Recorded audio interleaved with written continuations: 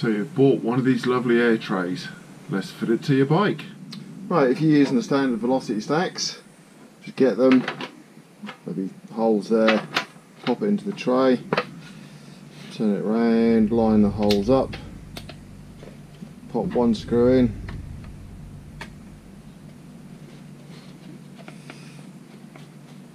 Just it up a little bit the way so it still moves a bit. Pop the other one in.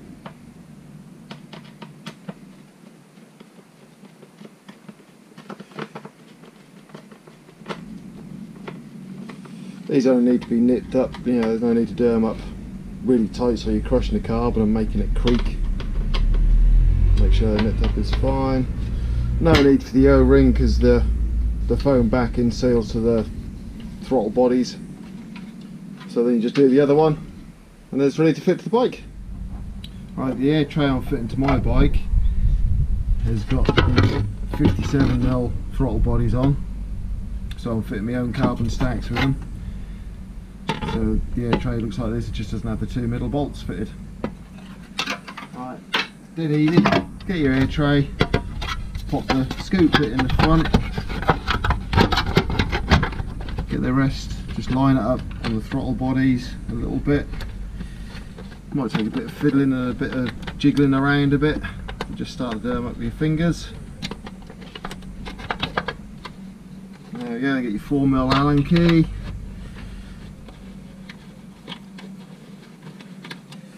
Just down, down, just so touch of carbon to start with. Have to push the tray down a bit with one hand, but they really are easy to fit. There you go, jiglets it's just in place, snip it up a little bit. Then you still move the tray. Get your velocity stacks, pop them in there, and then middle bolt with a carbon tube underneath it. Goes between the tray and the stack just saves uh, crushing the velocity stacks. No need to them up too tight.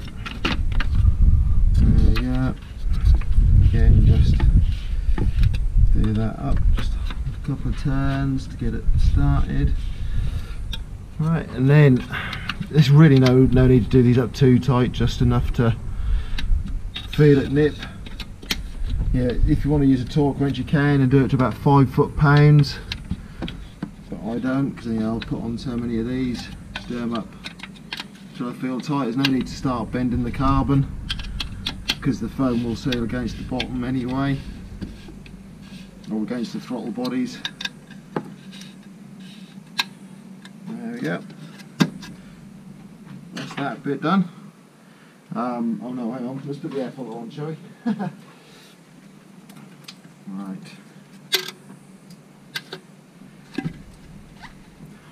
Obviously, you have the washers. You'll have one with a large washer that goes over the big hole in the air filter, and the little one goes in the little side. 5mm Allen key. Just spin it on that side.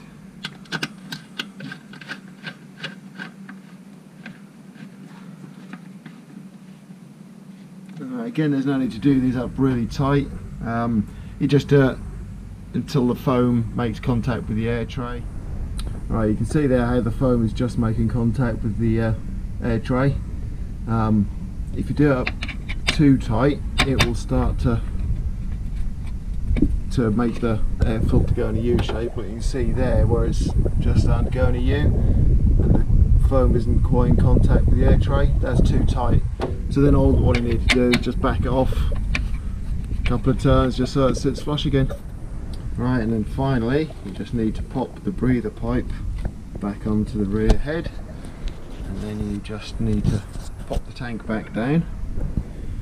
Enjoy the noise.